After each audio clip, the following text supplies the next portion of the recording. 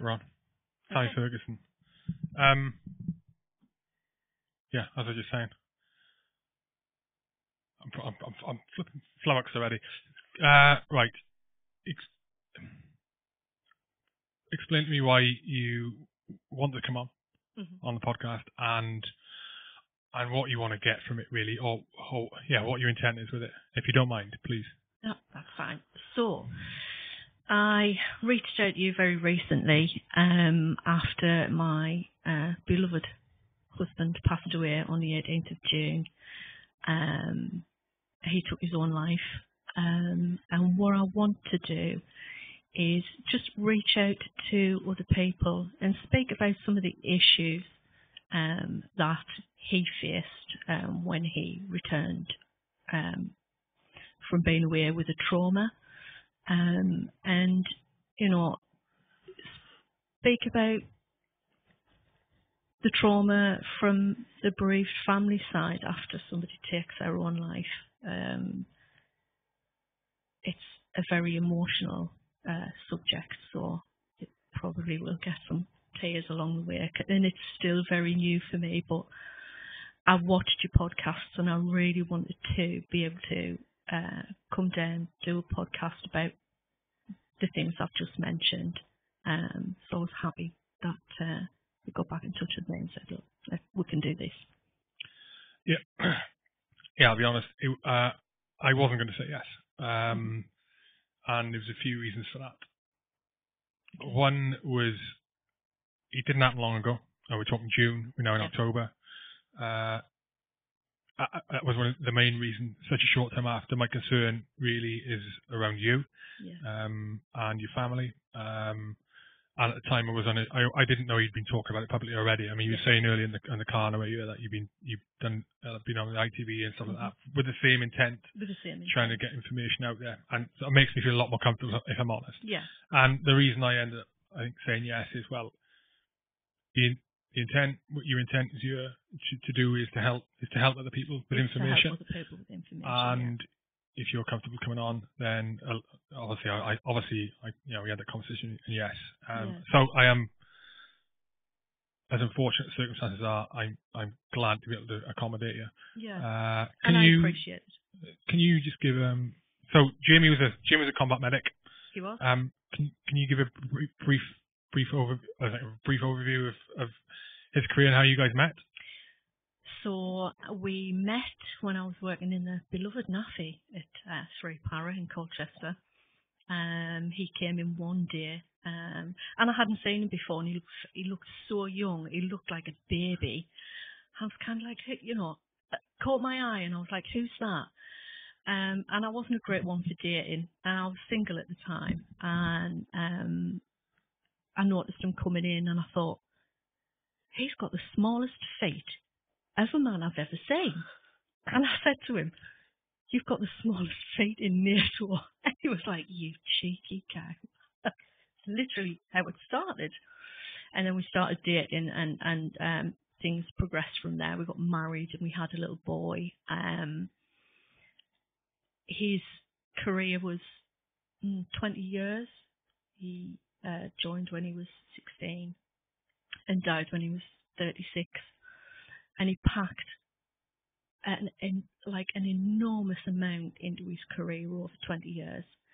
I, I think a lot of guys and girls do pack a lot in, but he was, I don't know, he seemed to pack more in than than average. I think you know he went everywhere that he wanted to go. He volunteered for lots of different things, and he did do Afghanistan, Iraq, Northern Ireland uh, with the lovely Three Para. Um, you know, he he served in various different units, done some years of special forces as a medic there. Um, went all over the world with them, done lots of different things, seen massive amounts of things. And Jimmy was always a huge one for learning. He was like an absolute sponge. He would lear- he would teach himself to do absolutely anything. Um, a lot of the things other people found really quite funny. Uh, when I got quite really sick, I couldn't leave the house for a long time, it was about 18 months. So, and he knew I always liked to have nice nails, and he was like, well, "What am I going to do here?" So he taught himself to paint my nails, um, because he knew I'd like it. Uh, he watched a couple of YouTube videos and went, "Yeah, I can do that." And I was like, "No, this is going to be a mess." But he was a perfectionist, and I think everybody would say that about him if he was going to do something. He did it all the way to the end. He wasn't the kind of person that would take something on and then bail out of it. Um, and he was dependable and he was reliable. Um, but towards the end of his career, especially from last year, um, things changed for him and he become quite um, I wouldn't want to say stressed, but he there was definitely something going on with him when he came back from Malawi. Um, and they had an incident out there and lost a soldier that affected him very, very deeply. To the point, as I was saying to you before, that he resigned his paramedic qualification when he came home immediately. He said to me, never wanted to practice medicine ever again after that experience. Um, and I think in Jamie's case, what I came to realise was he had something I call stacked trauma. So it was one after the other after the other, I, you know, and it got to the point where this last incident was the last straw for him. He really couldn't go on any longer. Um, so that's kind of our 20 years in a little nutshell. Where do you want to start with?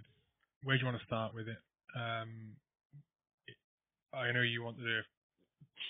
I think you said before, a during, and an after. So you, Yeah. where, wherever you listen, is your is your bag. Wherever you want to, wherever, wherever you want to go now with this podcast, let's let's let's do it. It's Okay. you. Okay. Wherever you feel appropriate, Sammi. So that was kind. That's kind of like a really quick overview of, of um, Jamie in a nutshell. Uh, of 20 years. There's a lot more that went into those 20 years. Kind of stuff that I've forgotten, you know, that are in the back of my mind somewhere. And I think when he came, the last incident in Malawi was very tough on him. he he's been he'd been away before for very long periods of time in conflict zones and didn't come home as changed as he did that last time. Ch- change changed in changed in what way? He was haunted, absolutely haunted. You could see it in his face. Um, the inquest uh, into this young lad's death was being put off because you've got to gather a lot of information for the coroner. um, and he found that immensely, immensely stressful. I think for the first time ever in his career, he wanted somebody to say to him, You'd done everything that you could do. There wasn't any more anybody could have done. You give him your absolute all. They all did. All the medics, you know, that that were there at the time. And I think you wanted somebody to just say that to him. You did absolutely everything. Now I could say that to him as his wife, but I could never say that to him in the terms that he wanted to hear it from, you know, colleagues or anybody in, in, in that position, in a military position, that would looked at it and said, you know what, you dug out blind and you've done absolutely everything you could and there was nothing, nothing more anybody would do. As his wife, I, I, you know, I could say, hand on heart, he will have given his absolute all. Yeah, he, he would. Any medic would. And I just think that was the very last straw for him when he came back. He was a changed person uh, because he was haunted by what had gone on in Malawi. Mm. Yeah, I'm sure he would have given it all. I, I, I, I you know, I, I knew Jamie, and um, he was a very, very well respected medic. Well, I knew him, and we hadn't been in touch for many, many years since since Yeah. he went from three and moved on to the other units. Um, did, was he aware when he came back of like that it, um, he was finding things difficult? Was he conscious of it? um, I think he was partially conscious of it, but I don't think he knew what it was. I don't think he knew what this thing was that he was feeling. I don't think he could verbalize that. So he was a terrible nail biter. And I noticed when he came home from Malawi pretty quickly that he was biting his nails so badly. I said, I think you need to go in and uh, speak to your doctor. You know, go into the med centre and speak to a medical professional. Um, and he did. He did do that pretty quickly within days of me saying, I think that's what you should do. And I didn't have to push him out the door or, uh, you know, bend his arm up his back to get him to go. He he did just go. Um, and he was very quickly diagnosed with an acute stress reaction uh, from the, the, the incident in Malawi. Um, and that's as much as I know about that. I don't know any more. Um, obviously, I wasn't privy to his conversation with his doctor or anything like that. Um, and he seemed to be all right. He seemed to be okay. He seemed to be a little bit lighter from the conversation he'd had. Um, but as the days and weeks went on, he must have been, and I didn't see it. I didn't see it coming. I didn't see anything. And I thought, I, I, I thought I watched him quite intently, but I didn't see it. it. You know, he hid that really well from everybody. Nobody's seen it. So in February of this year, we bought a house. kind of fed up with living in the military married quarters, as we all know. They're fabulous. Um, and we got to the point where we thought, well, we want to put down some roots. I've been moving around for 25 years and I'm kind of like, I was done with it. And I think he was too. He was like, oh, no. And we found a really beautiful place we want to live. Uh, so, you know, we live in Fife in, in Scotland and it's gorgeous. But we found this house, went ahead and bought it. Moved in, he ran around like a, a superhuman person, decorating, painting, moving things around, making things, anything. And when I look back on it now, what he was actually doing was just getting it ready so he could leave. And so he knew I wouldn't have to do that. That was something I wouldn't have to think, how am I going to manage this? How am I going to, uh, you know, he, he wanted to make it so it was lovely. and I wouldn't have to think about that kind of thing once he was gone. Um, I just thought he was rushing around doing stuff because he was impatient. I just thought, eh, you know, this is typical Jamie. You know, once he starts something, he likes to get it done. Um, and during that time, he taught himself to make knives. So he built a forge in the garden. He absolutely loved it. And you know, Hugh, he was good he was really good at it. What a surprise. Um, so decorating the house and he's making knives for his friends. You know, people who he went out shooting with, stalking with, you know, passing them on as gifts, something that he'd made himself, you know, great. Um, and a couple of days before he died, we were standing in the garden and we've got the most amazing view of Edinburgh across the Forth. Um, it's beautiful. we stood in the garden and I said to him, I've never been so happy and content in my whole life. Now I'm 51, so you know, it's been I've been waiting a while to be that happy and content. Moving around makes it tough to be, you know, content and, and moving around every two or three years is is an absolute ball ache sometimes. So we bought this house and I said to him, you know, I'm so happy. I'm so content. And he said, Me too. And then when I look back on that now, I, I look I look back on that conversation and I know that was his go because he could he couldn't he was in so much pain and that was his cue to leave. Over that, I mean, you, you, you've spoken before about um, how much you thought you'd been you- you've been planning it, Yes. um, and hugely intelligent guy as well. You know, uh, Bright as a button. yeah. Over that period from Malawi um, to a few months after and earlier on this year, with it's very much more aware, uh, sorry, pu- pu- public, much more accessible now and, and uh, obvious now, I think, compared to previous, how much support there is there for Yeah. people who are suffering in whatever way, be that military or be it not military, right? And there's always been a, especially a focus on a big drive on just trying to show people Mm-hmm. military and ex-military, there's there's support for mental health there. Yeah. Was any of that? It, did, how does that play into this in, in the build-up? I mean, was any of that explored? What, was any? What was the what was the blockers? Because there must have obviously been blockers. So, um, And the re- sorry, and the reason I ask, okay, Mhm. is you and I both know, and people listening to this and watching this know, Yes. that you can have as much support out there as you want, but there is there are sometimes there are reasons that it, that support doesn't connect with the person who needs it, yeah, and then the worst happens. yeah. And this, unfortunately, is one of those scenarios. Um, do you want to talk about that?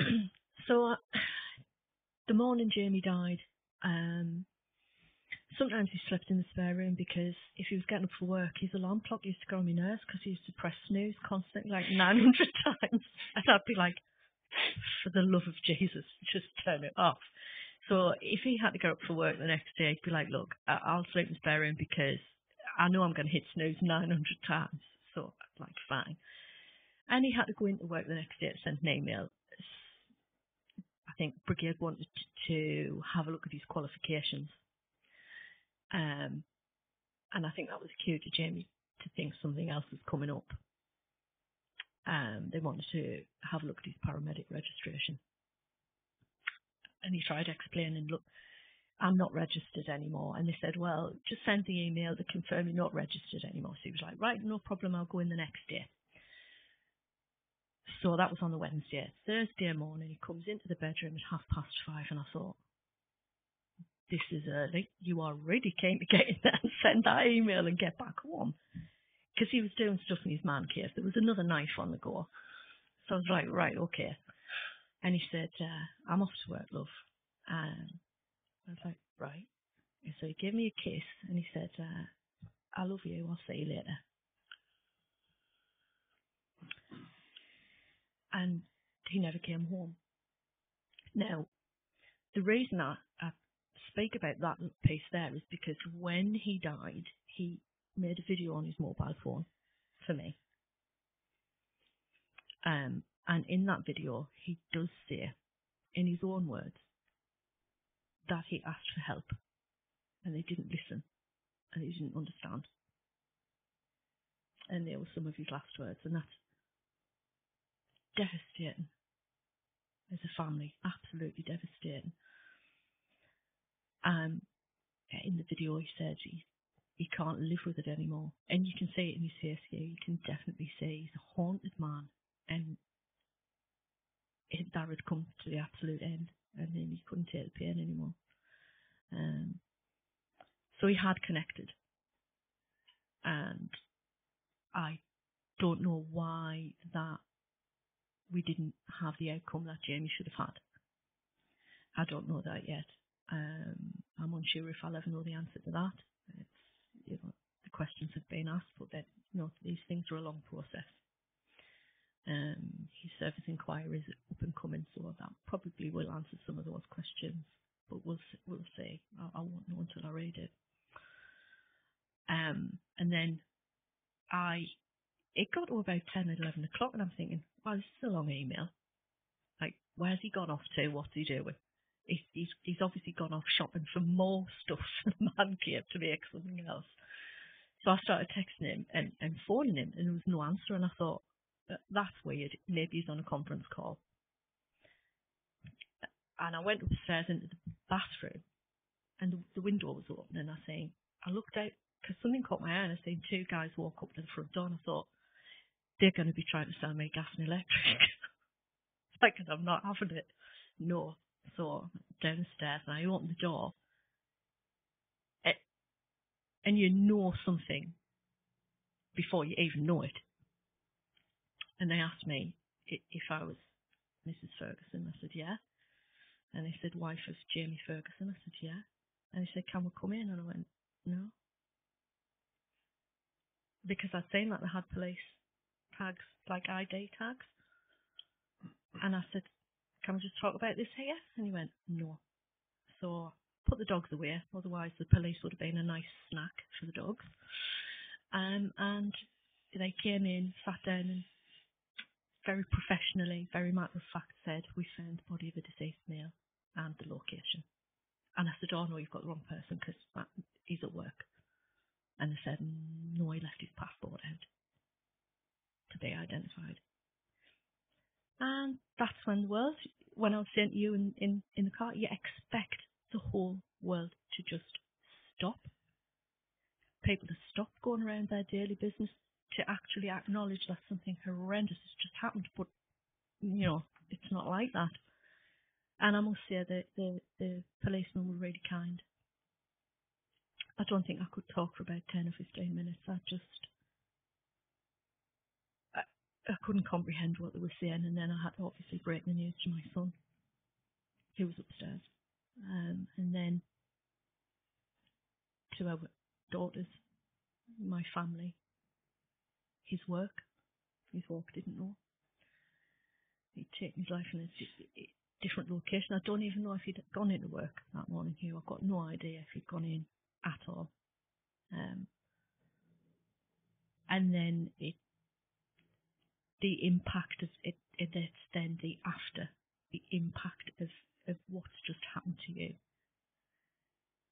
You can't actually physically comprehend that your husband, who you said goodbye to a few hours earlier, isn't going to come back through that door. No matter how much you want to change things, he's never going to be coming back. And that takes such a big effort and a long time for that to sink in that you're never going to see them again. And I think a part of me will always be waiting for him to come home. Um, and I think those early days, you don't really take anything in. Your whole life, you like you feel like you're living in an, uh, an alternate universe. Have you ever seen Fringe, the TV show, where there's an alternate universe and everybody's doing? It's a bit like that. It's a bit like living in this. And weirdly, me and Jamie used to watch Fringe all the time. It's a bit like being in you live in somebody else's life. That doesn't quite fit. It's like a skin that doesn't fit. That's not yours, but you have to wear it now.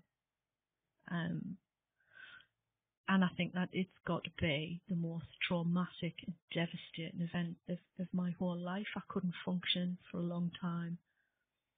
Um, but what I, I knew what I wanted to do very quickly, and I felt very strongly about, was telling his story connecting with media, speaking to reporters. Um, I, I spoke to them all. I spoke to everybody. Why is that?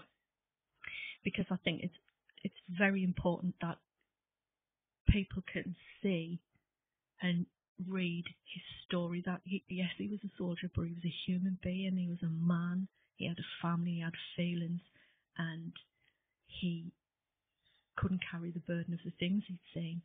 And I think it's the, the, most powerful thing to help other people is to read or hear a story that they can connect with on that level. Um, and that this doesn't always have to be the outcome. Um, there is services there and we need to figure out why some people don't connect with it or why you know, when people like Jamie have connected to the service where it's broken down and how that can be fixed. And going forward, how you can prepare uh, soldiers, seamen, airmen for seeing trauma and being resilient and um, having the tools to cope with better with the trauma. Um, because I think you you can you can send people anywhere and they can see all this trauma, but if you can get in at the beginning and prepare them better, I think it's you know it might fare better than trying to stick a band-aid on it at the end, if that makes sense. You know, trying to fix something that's already broken. If you can be proactive, yes, we have to be reactive in some situations. I understand that, but if we can be proactive in the beginning and give them more tools, better tools to build up resilience to mental trauma, I think that'll help. And the way you can do that is get the story out there and speaking about it. And I've, like I say, I've spoken to, it's always been on my terms. I've always reached out to the people I want to speak to, which is how, you know, how I reached out to you because I wanted this opportunity to um, put his story out there. Um, I know some people found it very strange that I connected with the press quickly and that I connected with journalists, uh, anybody that would speak to me very quickly. But to me, it was really important to, if, if this can happen to my husband, the, the love of my life, um, I don't want it to happen to somebody else. I don't want somebody else to get somebody walking up their path to say, this has happened and I'm so sorry. Um, if this can help one person, that's good. Mm. And I'm good with that.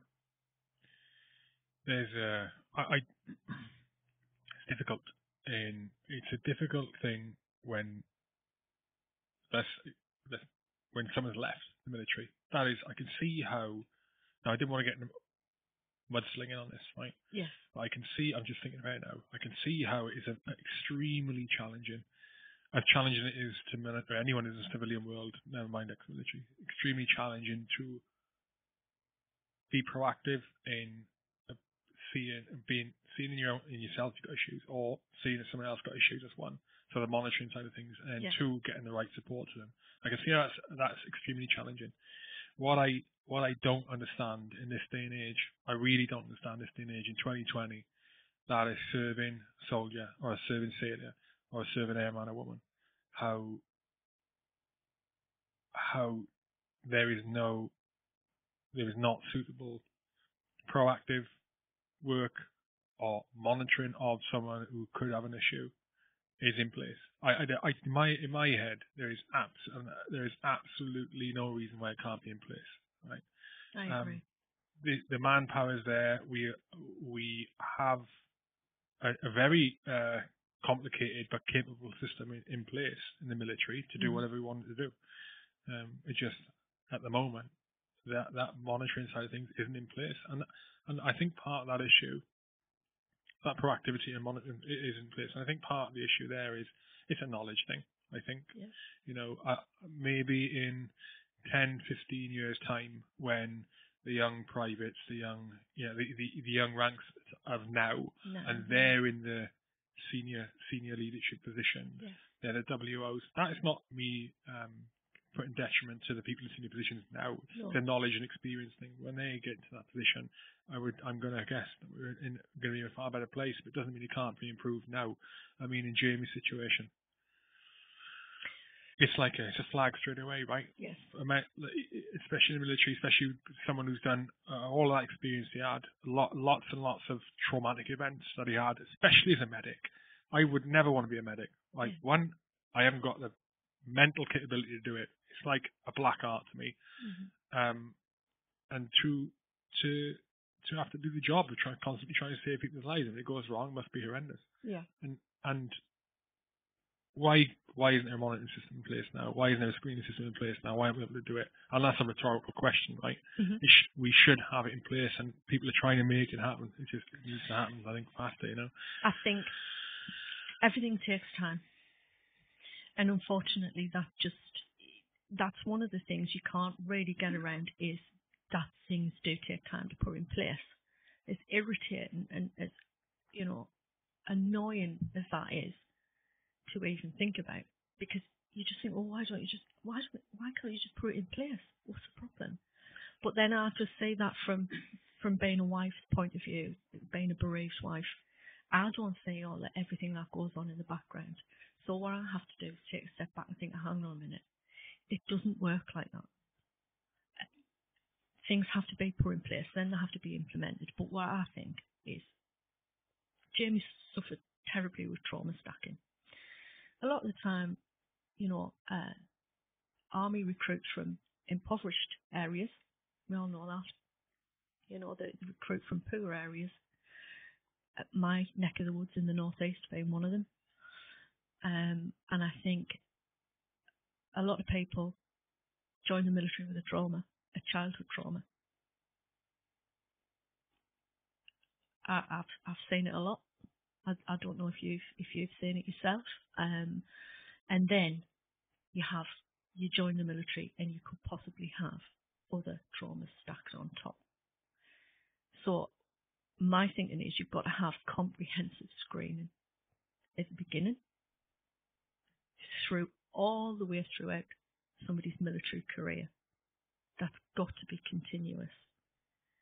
And then once they leave the services, it's got to continue. That that's got to it's got to be there. It's got to be an option. It can't just stop the day you leave. You don't just leave the military and go, well, that's my trauma. It's it's finished. It's absolutely fine. You you're going to be carrying that with you. And who knows what kind of issues that's causing for that individual. I think if that can go from the beginning, the middle, and all the way through to the end of that person's life, that will make a difference.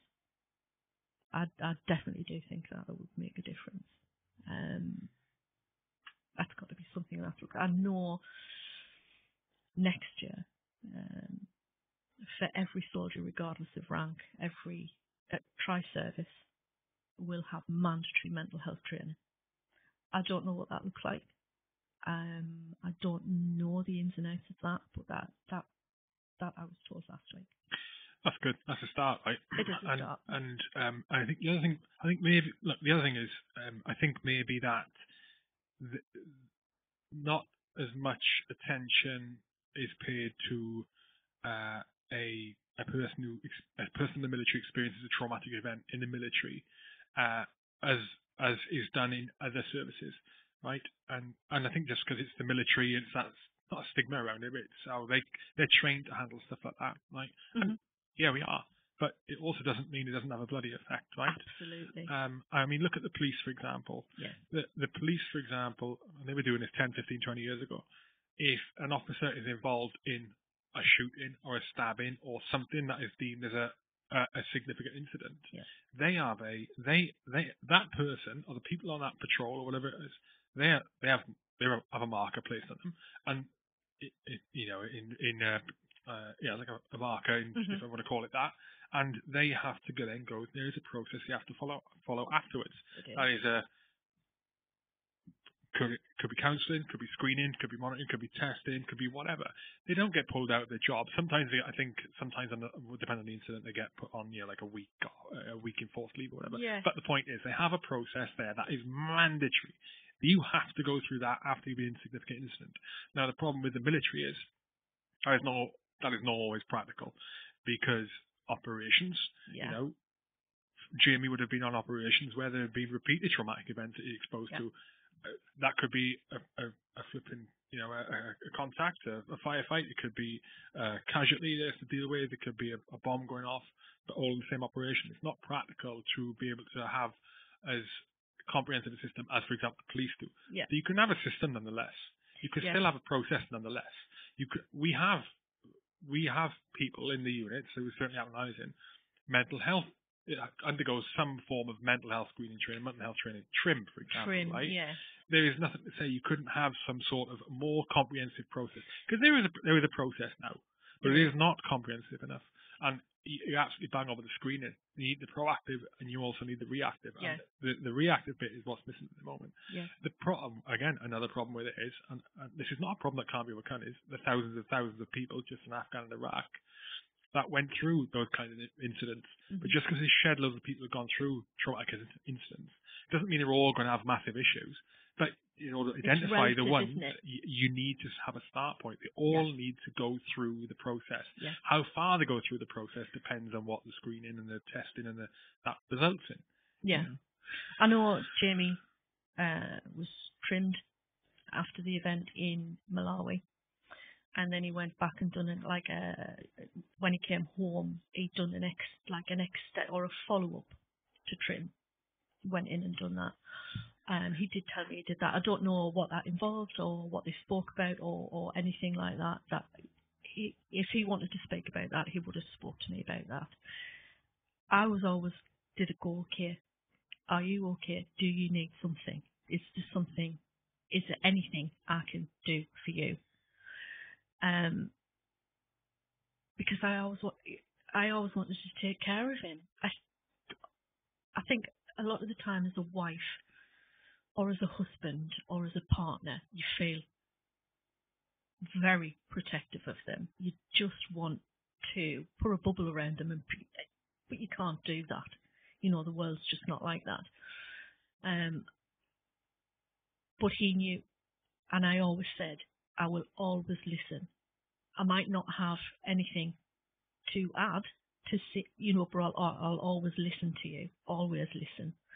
And I would always encourage him to get help and I, in any situation. Um, but he couldn't talk to me. And I don't take that personally. I don't, I can't because it wasn't personal. You know, um, I, I don't, I'm, I'm not offended by that or anything ridiculous uh, uh, like that. Um, and you're always immensely proud of them and you always want them to be healthy. Because you always think, oh, you know, I, wa- I want him to be healthy and fit. But you've also got to think, I want him healthy and fit in his mind. These two things, physical fitness and mental fitness, there shouldn't be any distinction between them. Having a mental trauma is just like having a broken bloody leg, only you can't see it. I suffer with what they call an invisible illness myself. People can't say what's wrong with me. They say I walk with a stick, but they cannot say what my illness is. And it's a bit like that.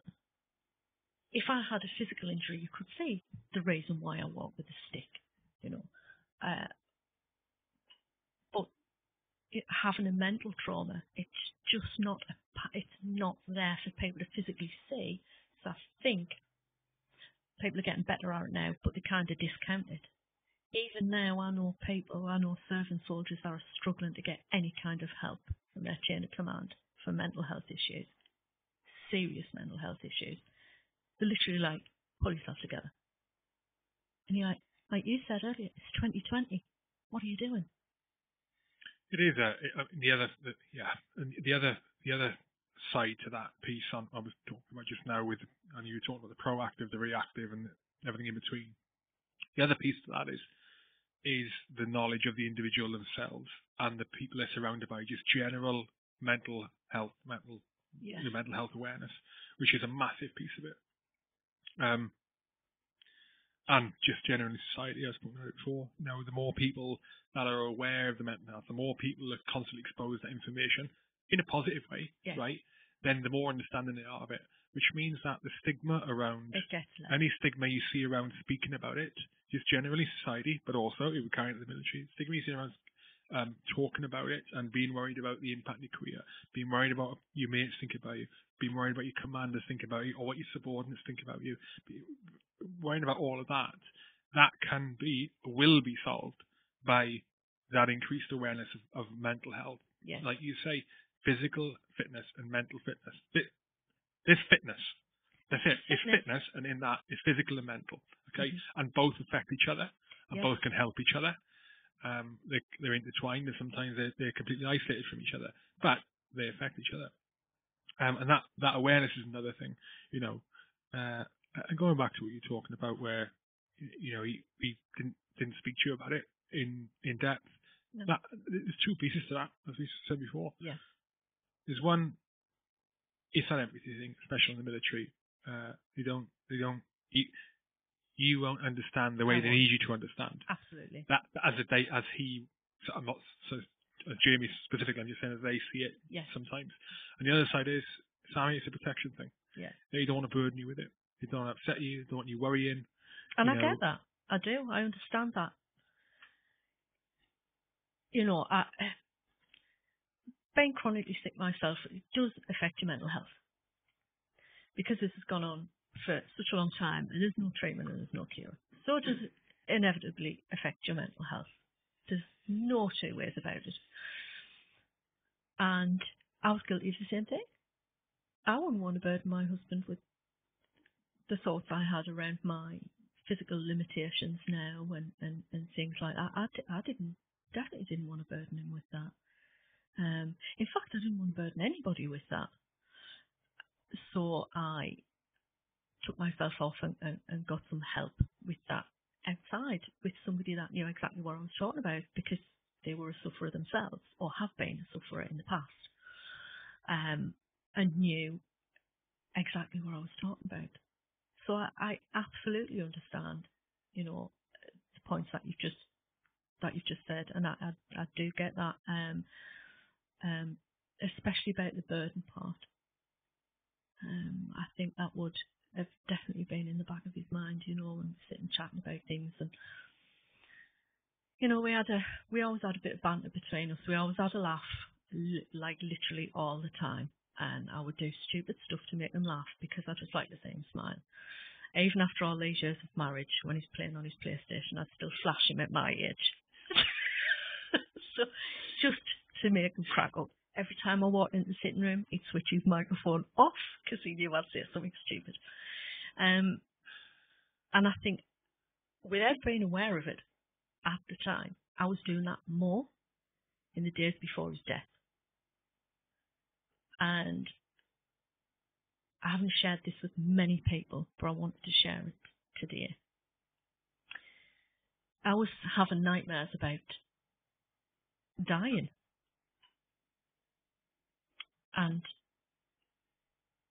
now I think about it and I say to Jamie, oh, I'm having these nightmares. And it was such a comfort. And he was just, he was a kind soul. And he was gentle and he was generous for his time and he always made me feel feel better about those points, and especially having these kinds of dreams. And when I think back now, I think I was kind of picking up on something from him, um, and I wasn't conscious of it. It. It's one of those things that you can't say until you look back. You know, after something's happened, and you look back and you go, "Why was I having those kinds of dreams? What I don't know, or I feel like I, I was getting something from him subconsciously, um, and I, I just I assumed it was me having some kind of wobble. Uh, you know, I'd lost lost my parents a couple of years ago, both of them, and and like I said, being in such bad health, I just thought I was having a bit of a wobble at the time. But now when I look back at it, I definitely think I was picking up something from him because I was so in tune with him all the time. You know, it, it was. I was angry at myself that I didn't say exactly what was happening, but he he, he hid that like a master. In in retrospect, Sammi, um, he, on in those sort of months, weeks, days before. In fact, just just to give this context, what I'm a- what I'm going to ask Mhm. is there's a with my own experience with people who've um, taken their lives. I remember the first guy that I knew did it, ex-military, and uh, much like with Jamie, I think he was completely out of the blue. Couldn't believe it. Of all the people, uh, Yeah, for his friends and his colleagues, of all the people, he was the last person. God, Jesus Christ, man. No way. What? And his name was Pete, Peter Sullivan, Ronnie. Could could not believe it that it happened. Um, and it was a- apart from the a, a couple of members of his family, it was very very well hidden. Um, and he wasn't in communication with many people anyway. hmm But so so on that note, um, again retrospectively, looking back, apart from like the nail biting, is there anything that you, any of the behaviours or anything that you that you now saw sort of built up, or or apart from the immediate change when he came back from Malawi, that you can think of that that were relevant or not? I, I'm, I'm asking this with just just No. for anyone listening. No. No? No. He was still making plans. He rang his friends a couple of days before he died. Uh, one the day before he died, actually, making plans to do stuff at the weekend. Like I say, he had a project going in the man cave. Um, we had plans ourselves. We booked a holiday at Christmas. Uh, he had plans with, uh, because, it, you know, his last post, he was a permanent staff instructor with the reserves at, uh, in Dundee. Um, and, you know, he, he was still going into work and sending out emails and being in touch with his reservists and encouraging them to do training and things like that. Because it was, uh, you know, during the time when COVID was literally ripping everybody's lives apart in the beginning. Um, so he was encouraging them to still do their fitness and still go out, you know, be outdoors and, and because that always gives you such a boost. And he knew that. And when I spoke to some of his friends after he died and they said, but I only spoke to them the day before he died and he was making plans with me to do this, this and this.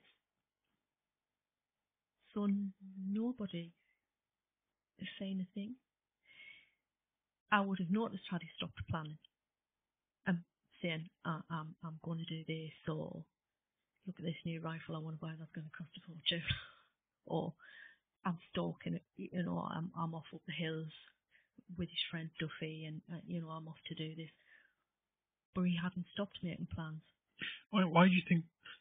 Why do you, where do you think that comes into it? Where you're, where it was also obviously pre- premeditated and pre-planned as far back as when you bought the house. You think? Yeah. So do you think that that sort of behaviour is on as normal? That that just came as part of just maybe he didn't think that he would go through it at some point. Maybe there was hope that he'd get out, or uh, in he would come through it okay, or maybe it was kind of normal because that's life. What you get on and do when you still had the plan. I think he was making plans in case he hadn't gone through with it.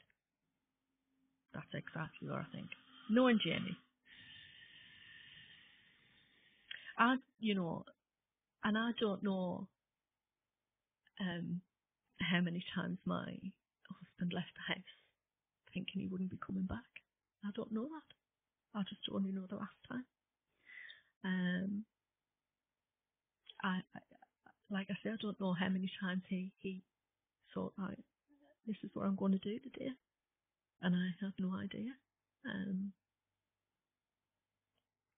and you just ridiculously, you know, you just want to wave a magic wand, It turn back time, anything, all the things you can't do. And he, he was my best friend. He was a good man. He was a great dad. He was such a good role model to Lucas.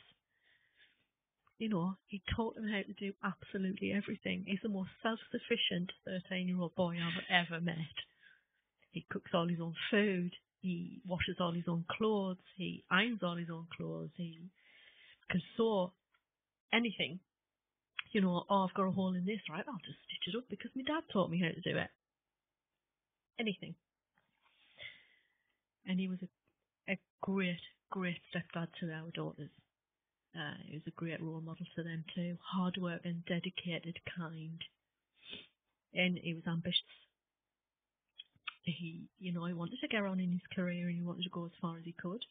Um, I think that stems back to his childhood. He didn't have, he was an only child and he didn't have a grand life for his parents, unfortunately. And um, that spurred him on to, he grafted, grafted for everything he had.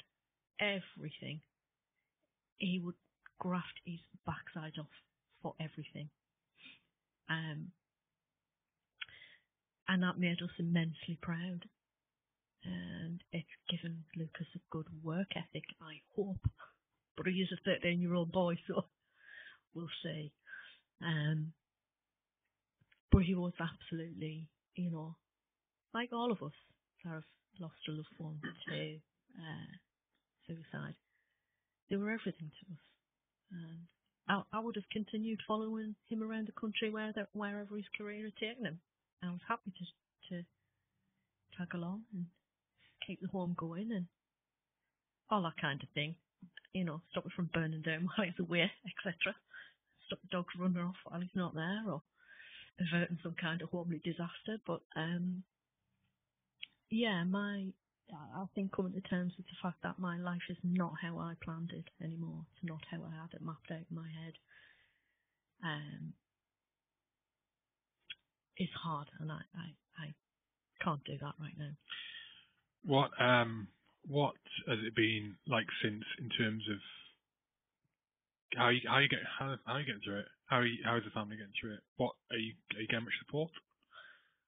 So that brings me to another point that I've written down in little pad that I wanted to raise because I think it's important that people should should know. Um, when Jamie died, uh, we were assigned a visiting officer, and I've got to say, he is an amazing human being.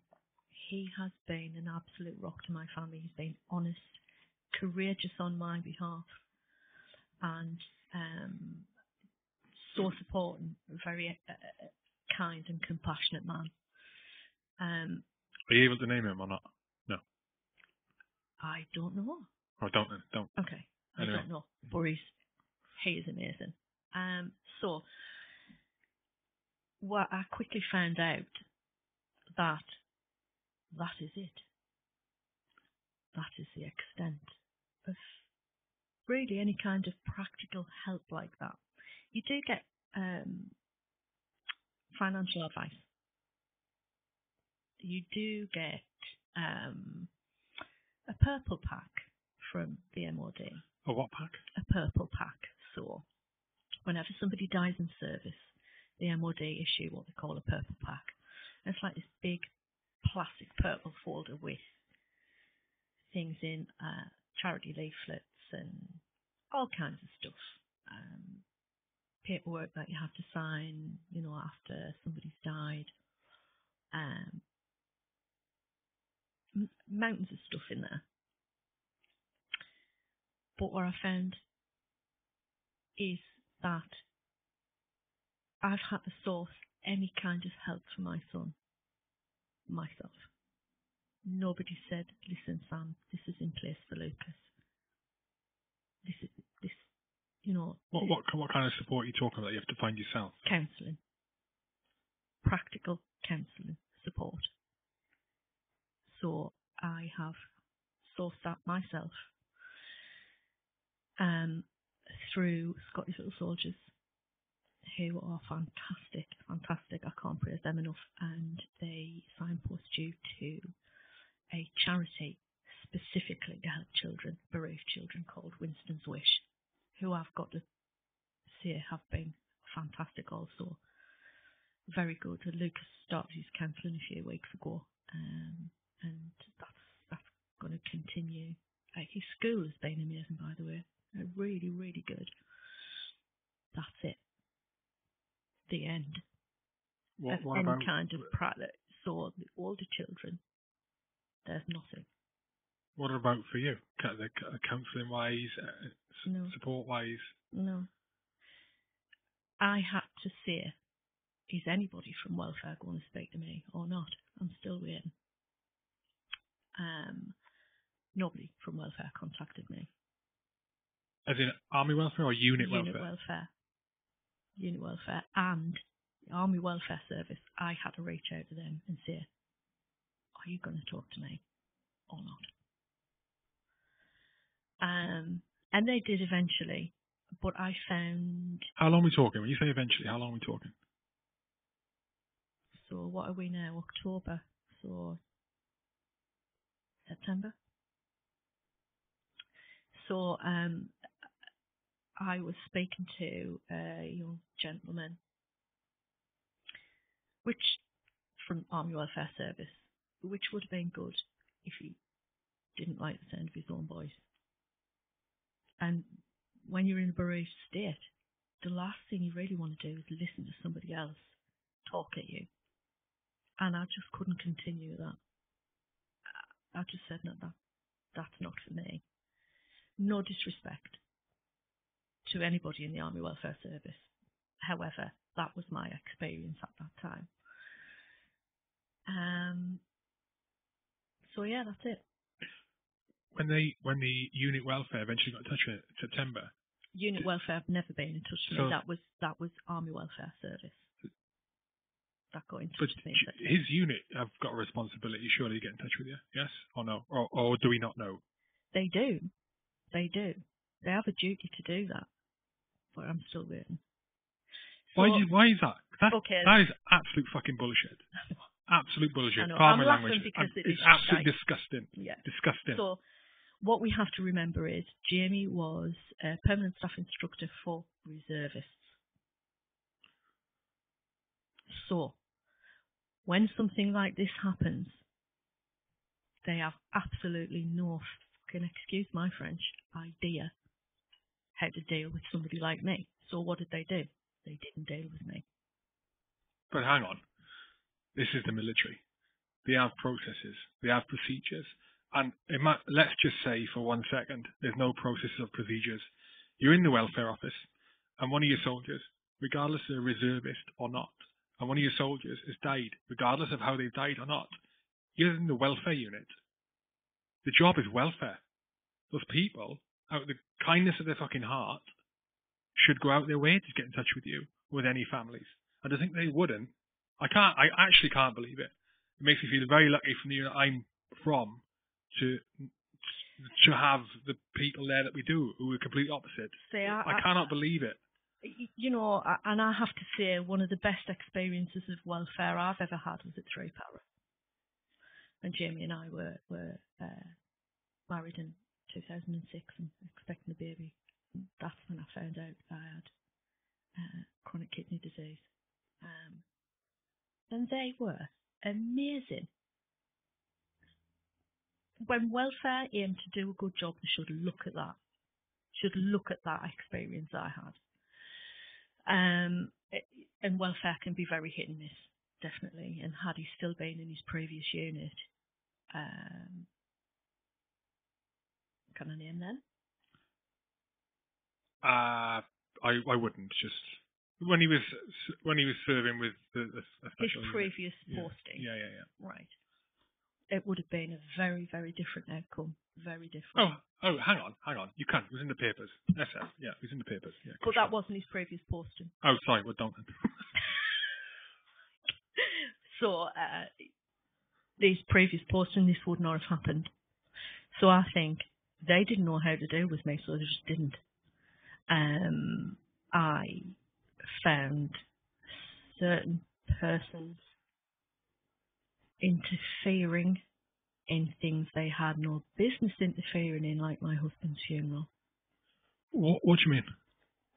So um, it was during the time of COVID, when it was obviously it was still going through COVID, but this was near the beginning in June. So um, Fife Council, Living Fife, Fife Council was contacted and said, look, we have a military funeral. We would like a bearer party and a shooting party. And they said, yes, we understand. Go ahead. That did not happen because certain people didn't want pictures getting into the press of maybe somebody breaking social distancing rules. I can un- I can understand that. I can. I totally had an outside service here. Nobody would have been breaking social distancing rules. Ah. A story was also put out there. I have found the source of the story. They shall remain nameless. They are military. To say that it was stri- restricted numbers to 20. And I said, no, no, no, no. I don't know where this story's come from. There is no restriction on numbers. It's an outside service. It's graveside. That's why I chose that.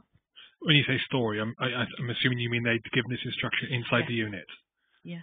So they told the unit only 20 people can go to uh, Jamie Ferguson's funeral when that was not the instruction. That was disseminated Why would they do that? In, in, in other social media, on other social media platforms. So I was running around like an idiot going, this is not true. This is not true. You can attend. The next thing was, we don't want anybody in uniform. Fair enough. Only a couple of people. Why? Why? Why?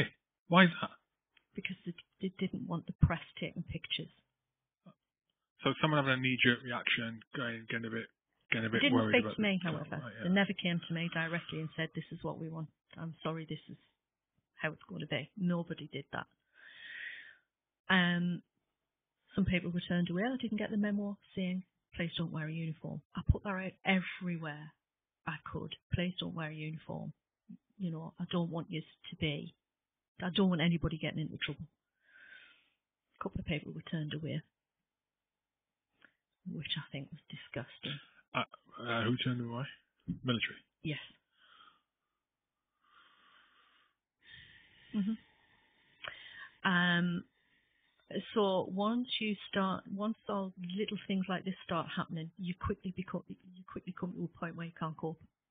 You cannot cope. You feel like this person that was the love of your life, your husband, your whole world, was somebody else's property. It wasn't my property, or it wasn't anybody else's either.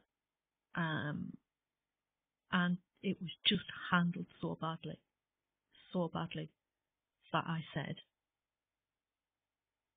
for a certain person never to contact me again. I'm not interested in having a conversation with that person. Um, that person should know better, did know better, could have done better, should have done better. Um, think Jamie was. Again, I'm struggling to understand you. Why? Why stuff like this is is, is going on when a death in service is no strange a a death in service is no strange event over the last 10 years, 15 years. It is no strange event. Okay, these are as unfortunate as they are. I'm talking general. I'm not just specifying about suicide. Yeah. Generally, fortunately, are. these are, these are common events. It's the fucking army. It's Mhm. the navy. It's the air force, and we've had Afghan and Iraq and and, the, and other operations going on. Mhm. So why is this any different? Apart from the COVID impact, why can't people turn up in uniform? Right, if the social distancing in place and it's outside, why? Why? Again, I go back to it. Why on earth has the unit welfare office not been in touch? Not been in touch. What kind of people are in that office to not get in touch? I I absolutely staggered by it. I'm absolutely staggered by it. Staggered by it. It- It's just, I think probably the measure of the person, the individual. Oh, they're in the office. Yeah, I think the whole the whole unit as a whole didn't know how to do with me because they this this is just not something they ever thought they would. Nobody ever thinks they're going to have to handle this situation. However, other units might have had some experience. Now, help was offered to his unit from his previous unit to help with practical things like the funeral. We can organise that. We can, had it been done by them, we wouldn't be having this kind of conversation. But they said no, thinking they knew best, um, for whatever reasons. I don't know. Nobody ever spoke to me about it. Um, and it's caused me a lot of tears, a lot of anxiety, anger, frustration beyond belief. Um, that this was my experience. Um, and that's another thing I do not want happening to another family ever is having the experience I had. Luckily for me, I had a lot of family around me and a lot of friends. But not everybody's got that. Not everybody's got that system in place. They could end up going through a negative experience like I have alone. And I, that gives me the fear, really. Um, I know how much of a struggle it was for me with the support. I can't even imagine what it's like without it. You know, without the support of a family. You could be living in a different country. You know, your family could be thousands of miles away. Um, and this is not, this is not the experience people sh- people like me should have. Absolutely not. what is it that you're missing at the moment? What what is it that you need? Like other support?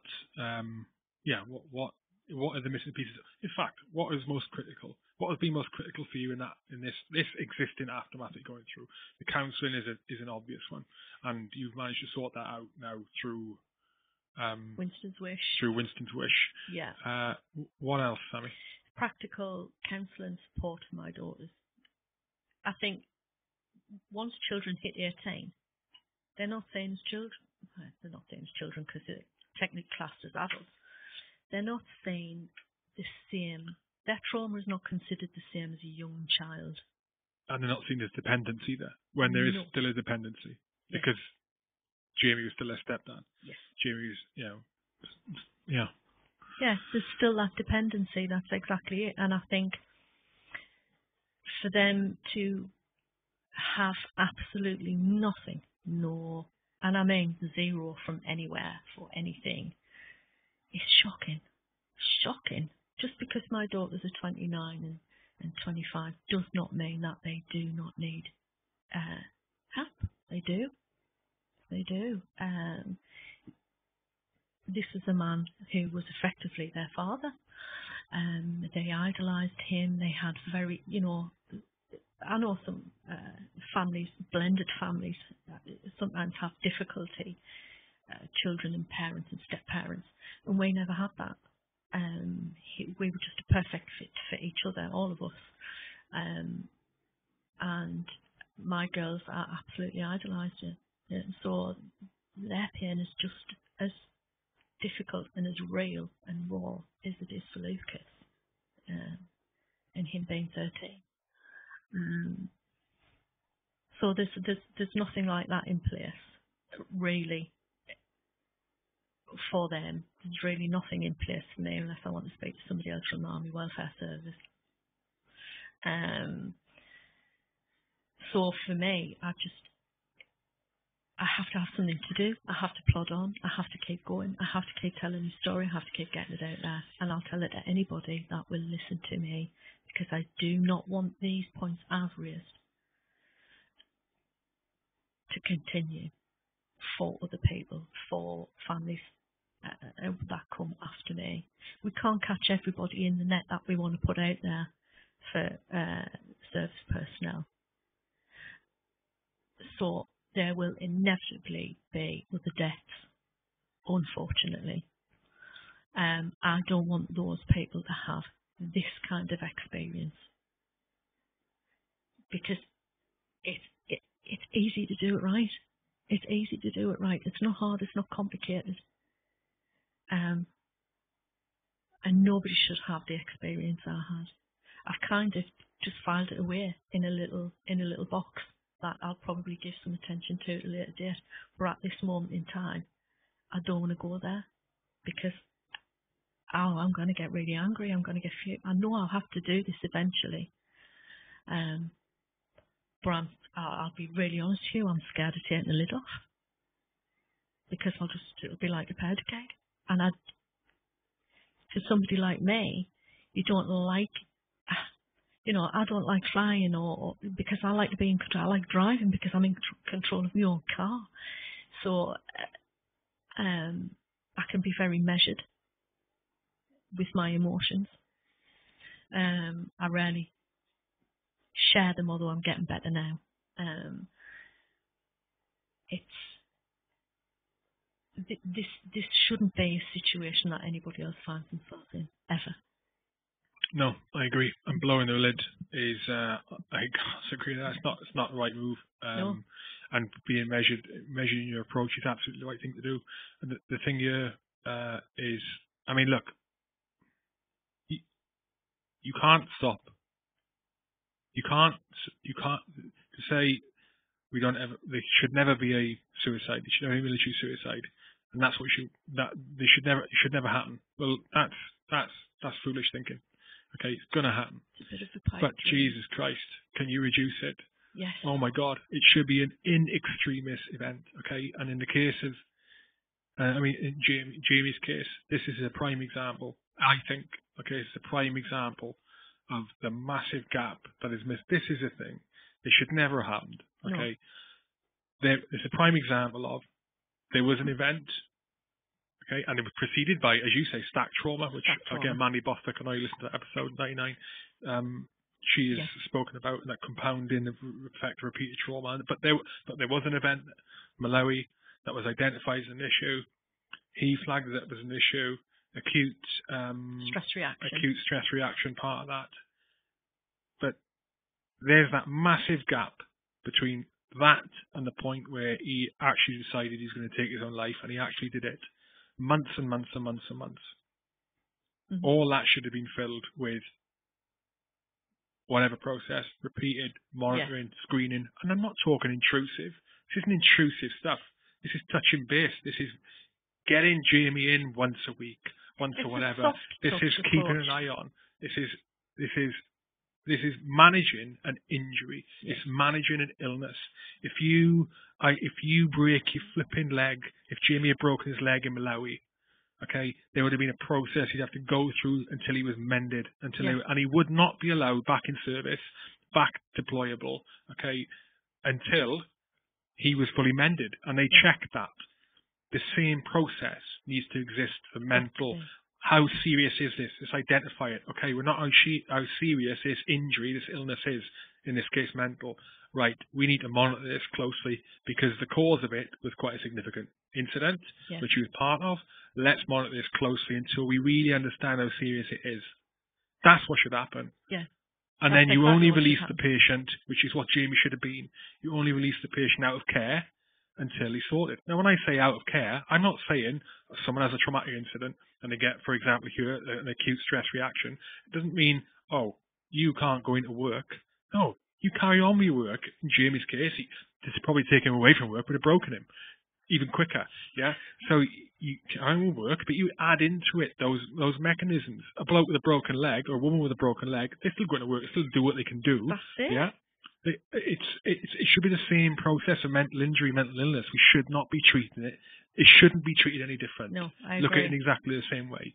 And and this is this is why I am glad that we had this conversation because of this. And again, I, you know we had this discussion in the car. Don't want this to turn into a mudslinging No, no, thing no, because it is not. This It is is not. this is a okay. This is the situation that happened. This is yeah, this is worst case scenario with pear shaped, and this is your experience that you had. Jamie's experience that he's had.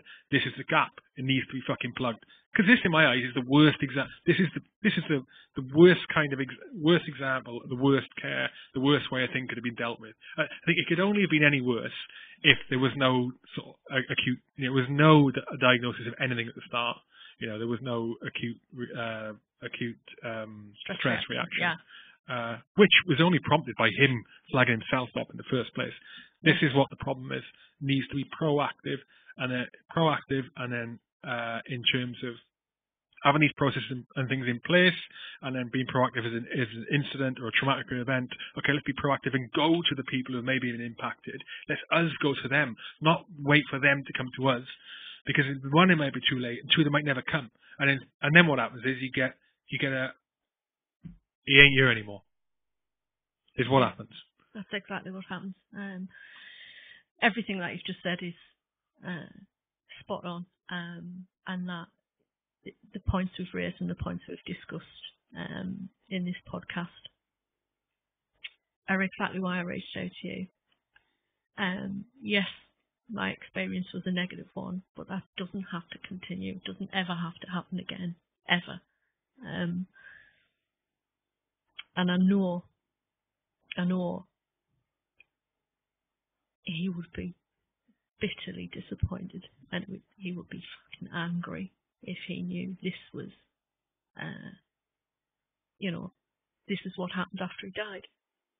He'd be fuming. Absolutely fuming. But I can't change that for me. But hopefully, uh, by continuing to talk about this, we can change it for other people. And like I just said, it doesn't have to be a bloody negative experience. Um, it, it's never going to be a bloody positive experience, you know, but it doesn't have to be uh, the experience I had. Is there anything in, in fact, he gave you that notebook, didn't he? Read what it says in the front. Read what it says. So this notebook. So uh, Sammi brought the notebook with some points in it she wanted to make, remember, and the front of the notebook. So Jamie gave her this notebook. Go on, read what it says in the front of the notebook.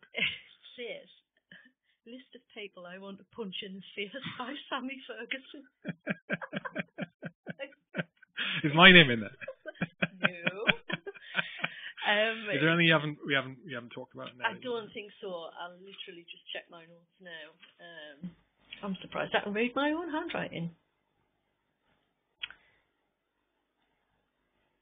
No, I think I've spoke about everything I've wrote down. Okay. Um, thank you for reaching out. Thank you Uh, for having me on. I really appreciate it more than I could probably express. Well, it's an important conversation, Sammi, um, and you know, it's it's it'll help. It'll help. I hope so. I hope so. And I'll always talk about uh, I'll always talk about his story, and as long as anybody wants to listen, and um, I'll you know if anybody ever wants to speak to me, reach out to me, please do so. Um, I will speak to anybody. I'm I'm a canny listener. I'm not bad. Um, and you know I, I'm happy to talk to anybody, anybody that wants to know more about Jamie or more about his story or uh, anything. I'm happy to speak to anybody. I think it's really, really important that everybody continues to talk. You know, Just make sure you balance that burdening yourself up with other people's problems with sorting yourself and your family out as well. I know you've already thought about that. Saying. yeah, Um, you can become a bit of a sin eater, um, and it's kind of difficult then to draw the line. Um, but I know where my lines are, luckily. Um, and you're right, you have to balance it. You have to balance it. It can't be at the detriment of your own self. Um, but um, I'm pretty good at spotting that. And if I don't spot it, my kids will. So Yeah. they, they keep me on the right track. So can you just quickly, not quickly, the, the, Nick, so the two charities that help out on the kids side of things, Yeah. Scotty's Little Soldiers is one. Raising Nikki Scott will be on the podcast in the future. Excellent. Um, and Winston's Wishes is the other one. And Winston's specific- Wish. Winston's Wish. Yes. So explain what they do. Uh, they uh, give practical help and counselling to bereaved children. Okay. Anyone else you want to mention um, to uh, at all? Um, really, I I want to say that all is, you know, this has had a massive effect on Jamie's friends, a detrimental effect on his friends. You know, um, and I I want them to know that I I will always be here for them. They will always be part of my life, and they'll always have my support. My family have been immense. My friends have been immense, um, and I couldn't have got through the past few months without everybody that's been in my life played, you know, their part. My visiting officer has been outstanding, um, and probably a lot of other people that I've forgot to mention because I'm terrible at trying to remember things. But uh, yeah, especially my family. The kids have definitely got me through stuff. Um, and the one thing I always say, whenever I talk about him, whenever I mention him, whenever I have a conversation with somebody about him, is, and it's always the hardest thing for me to say, is I'll always wait for him to come home. Always. Because he went out that day. And I'll still, I'll still wait for him to come home. I think I'll always do that. Sorry. We're done. Thank you. Thanks.